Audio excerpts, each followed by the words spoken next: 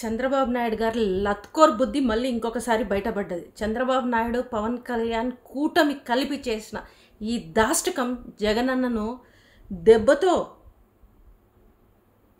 కాసేపు ఆగొచ్చు కానీ జగనన్నను ప్రజల నుంచి దూరం చేసే ఏ అవకాశాన్ని కూడా ప్రజలు మీకు ఇవ్వరనేది గుర్తు చేసుకోండి.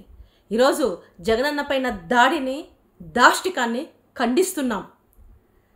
జగనన్న చేసే మంచి పనిని చూసి తట్టుకోలేక ఎలాగైనా జగనన్నను ప్రజలకు దూరం చేయాలని గతంలో రెండు వేల పంతొమ్మిదిలో ఈ కోడికట్టి డ్రామా అని చెప్పి వైజాగ్ ఎయిర్పోర్ట్లో ఇలాగే ఇలాంటి దుర్ఘటనే చేశారు.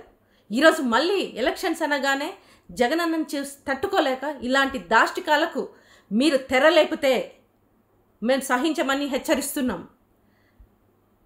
మీకు ఈ దాష్టికానికి నిరసనగానే ఈరోజు ఈ నల్ల బట్టలేసి మేము జగనన్నకి సంఘీభావం తెలుపుతూ మీకు వార్నింగ్ ఇస్తున్నాం. ఈరోజు జగనన్న చేసిన మంచి పనులను చూసి తట్టుకోలేక మొన్నటికి మొన్న ఏమంటారు?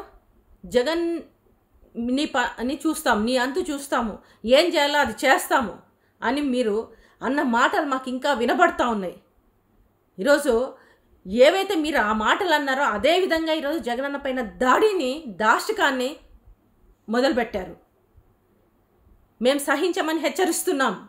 ఆంధ్ర రాష్ట్ర ప్రజలు గతంలోనే మీరు ఇలాంటి చౌకబారు రాజకీయాలు చేస్తేనే చెప్పుతో కొట్టినట్టుగా ఇరవై మూడు సీట్లలో ఒకరిని కనీసం ఒక అసెంబ్లీలో అడుగు పెట్టకుండా ఇంకొకరిని తరిమి కొట్టారు.